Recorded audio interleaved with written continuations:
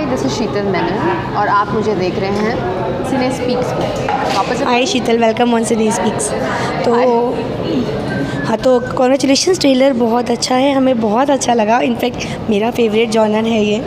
तो Thank you, thank you. तो थोड़ा बताइए कैसे कमेंट्स आ रहे हैं कैसा रिस्पांस मिल रहा है हैं? देखी मतलब कि आपने खाली ट्रेलर अभी तक मैंने हाँ अभी तक मैंने शुरू नहीं किया है देखना। I just saw trailer okay I would really like you to watch it आप देखिए। And then it will be nice to kind of discuss so या थ्रिलर थ्रिलर फ़िल्म जब आप कोई बनाते हो ना तो आप मुझे ये बताओ कि क्या क्या चीज़ें माइंड में रखनी पड़ती हैं? बिकॉज़ थ्रिलर बॉलीवुड में हम कह सकते हैं कि उतना ज़्यादा देखा नहीं जाता या उस तरीके का बनता नहीं है as compare to Hollywood maximum लोग हॉलीवुड की थ्रिलर्स और साई फाई फ़िल्म पसंद करते हैं। यहाँ पर आप लोगों ने क्या क्या चीज़ें ध्यान में रखी और क्या क्या चीज़ें डाली हैं इस सीरीज़ के लिए?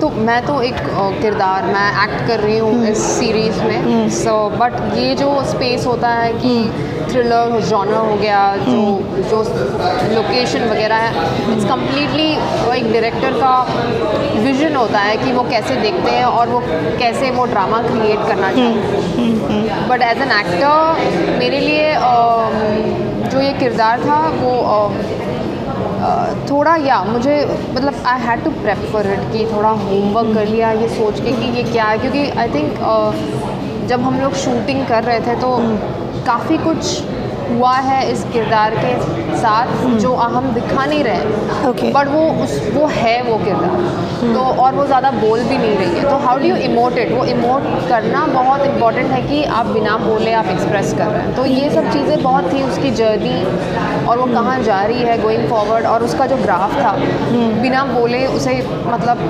Just Okay. एक्सप्रेस करना बहुत ही अ, मतलब अ, मुश्किल था लेकिन आई थिंक uh, वो एक आप पकड़ लेते हैं ना कि वो एक कैरेक्टर का जो then you you need to be keep it keep that consistent या सो या तो थोड़ा था I had to prep for it and physically also वो थोड़ा चैलेंजिंग था कि आपको मतलब फाइट करना है जंगल में हो आप।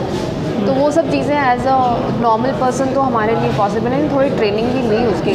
तो या सो थोड़ा हटके ही था एक्सपीरियंस ये। तो किस किस स्टोरी का पार्ट है आप? वो हमारे दर्शकों को कुछ तो बताइए मैं ये हंट में रेज़ा का किरदार निभा रही हूँ। तो रेज़ा तो आई थिंक वो सुनने भी नहीं आता स्टोरी में। मतलब आप सुनते भी नहीं है कि हुज़ बहुत वो आखिर में पता चलता है कि इस किरदार का नाम रेज़ा है।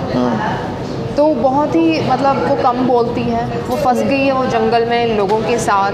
लोग भी मतलब उसे शक करते हैं उसके ऊपर। वो भी लोगों को ट्रस्ट नहीं कर रही है। हर कोई भी किसी को ट्रस्ट नहीं कर पा रहा है। So but I think you are just आप हो वहाँ पे क्योंकि आपको वहाँ से बच के निकलना है। आपको मरना नहीं है। You have to survive so everybody अपना एक टैक्ट यूज़ कर she is also one of that लेकिन उसमें फ्लिप क्या होता है? वो आप देखेंगे तो पता चलेगा।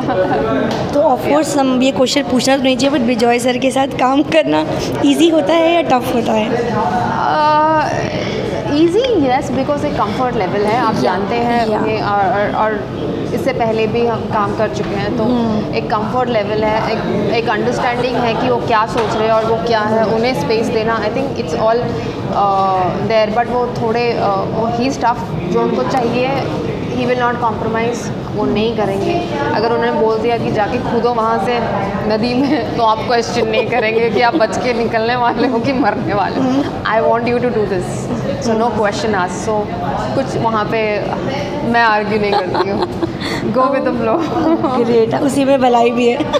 उसी में भलाई भी है। हाँ, तो जल्दी जल्दी व्यूअर्स को कुछ मैसेज दे दीजिए और बता दीजिए कि क्यों देखें और हाँ। क्या रीज़न है। सो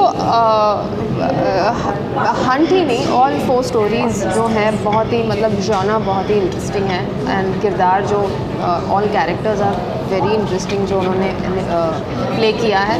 हंट इसलिए क्योंकि इट्स जो कॉन्सेप्ट ही थोड़ा अलग है जो इंडिया में पहली बार ट्राई किया है। सो आई रियली वांट कि लोग ये देखें एंड आपको डेफिनेटली आप लेट डाउन नहीं फील करेंगे. And you have to experience this so I would request everybody to go and watch और हमारी तरफ़ से भी wish you all the best thank you so much thank you so much